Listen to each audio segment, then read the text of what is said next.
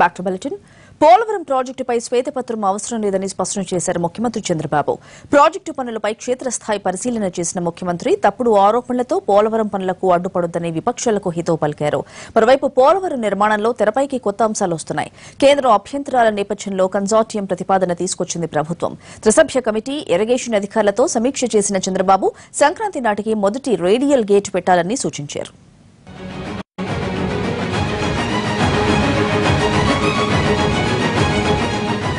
ఓవైపు కేంద్రం కొర్రీలు ఇంకోవైపు ప్రతిపక్షాల విమర్శల నేపథ్యంలో పోలవరం ప్రాజెక్టు పురోగతిపై మరోసారి క్షేత్రస్థాయి పరిశీలన చేశారు చంద్రబాబు. అమరావతి నుండి ప్రత్యేక హెలికాప్టర్లో ప్రాజెక్టు ప్రాంతానికి చేరుకున్న ముఖ్యమంత్రి అక్కడ జరుగుతున్న పనుల పరిస్థితిపై అధికారులను అడిగి తెలుసుకున్నారు.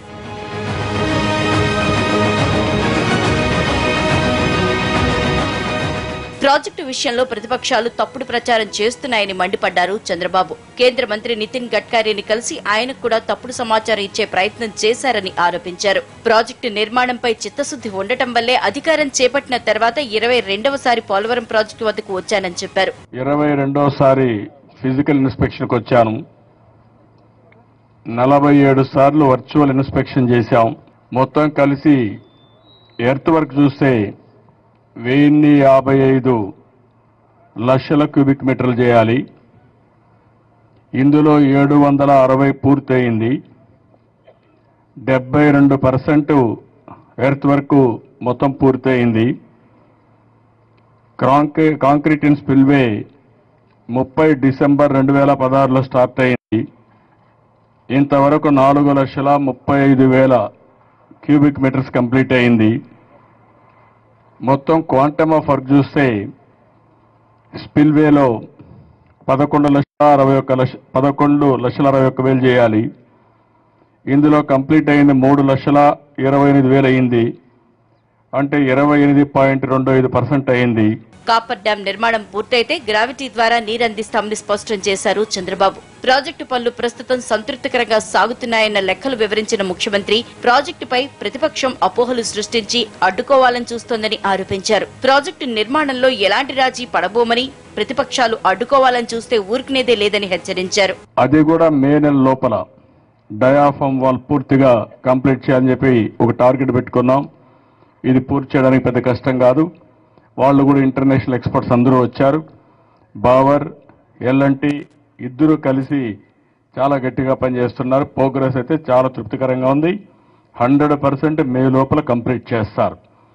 అదే సమయంలో coffer dam down stream Z routing పద్నాలుగు వందల మీటర్లు చేయాలి. ఇప్పటికి కంప్లీట్ అయింది మూడు వందల మీటర్లు అయింది. ఇరవై ఒకటి పాయింట్ నాలుగు రెండు పర్సెంట్ అయింది. అదే మాదిరిగా ఇది కూడా చాలా ఫాస్ట్గా చేశారు. ఇంకా మిగిలింది కూడా ఒక ఇరవై రోజులు ఒక నెల లోపల పూర్తయిపోయే అవకాశం ఉంది. పోలవరం నిర్వాసితులకు ఉదారంగా కాదు బాధ్యతగా పునరావాసం కల్పిస్తామని ప్రాజెక్టు ఆగిపోయే పరిస్థితి వస్తే ఎంతవరకైనా వెళ్తామని చంద్రబాబు స్పష్టం చేశారు. పోలవరంలో కాంక్రీట్ వర్క్ మినహా ఇతర పనులు వేగవంతం చేశామని కాంక్రీట్ పనులు పూర్తి చేసి కాపర్ డ్యాం నిర్మిస్తే వచ్చే ఏడాదిలో గ్రావిటీ ద్వారా నీళ్ళు ఇవ్వొచ్చన్నారు. ప్రాజెక్టుపై పన్నెండు వేల ఐదు వందల ఆరు కోట్లు ఖర్చు చేశామని గుర్తు చేశారు. రెండు వేల పదమూడు చట్టంతో భూసేకరణ వ్యయం పది రెట్లు పెరిగిందని చెప్పిన ముఖ్యమంత్రి ఆ చట్టం ప్రకారం నిర్వాసితులకు పరిహారం ఇవ్వాలా వద్దా విపక్షాలు చెప్పాలన్నారు. చాలా మంది ఎక్కువ పెరిగిపోయిందని కావాలని విమర్శలు చేసే పరిస్థితి వస్తుంది దీంట్లో పెరగలేదు. టెన్ లెవెన్ టైమ్స్ పెరిగింది ల్యాండ్ ఎక్విషన్ ఆ విషయం గుర్తుపెట్టుకోవాలి. విమర్శించే నాయకులు గుర్తుపెట్టుకోవాలి. అంటే ఇక్కడ కేంద్ర ప్రభుత్వం తీసుకొచ్చిన చట్టం రెండు వేల పదమూడులో ఆర్ అండ్ ఆర్ కానీ ల్యాండ్ ఎక్వేషన్ కానీ గిరిజనులకు ల్యాండ్ టు ల్యాండ్ ఇవ్వడం కానీ ఇవన్నీ వాళ్ళే తీసుకొచ్చారు. ఆ చట్ట ప్రకారం ఇవ్వాలనా లేదా అని వీళ్ళు మాట్లాడాలి.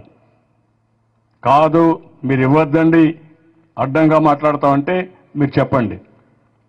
ఇక్కడ గిరిజనుల కోసరం ఇక్కడ మీరు తీసుకొచ్చిన చట్టాన్ని అమలు చేస్తే ముప్పై రెండు వేల కోట్లు అవుతుంది. ఒరిజినల్గా ఎస్టిమేట్ చేసింది రెండు వేల తొమ్మిది వందల కోట్లు. అంటే more than eleven times land acquisition R and R పెరిగింది. ఎవరి కోసం పెరిగిందంటే మొత్తం చూస్తే తొంభై ఐదు వేల కుటుంబాలు ఇక్కడ నుంచి గిరిజనులు ఉన్నారు. మరోవైపు పోలవరం జాతీయ ప్రాజెక్టును యుద్ధ ప్రాతిపదికన పూర్తి చేస్తామని స్పష్టం చేశారు కేంద్ర జలవనరుల శాఖ మంత్రి నితిన్ గడ్కరీ.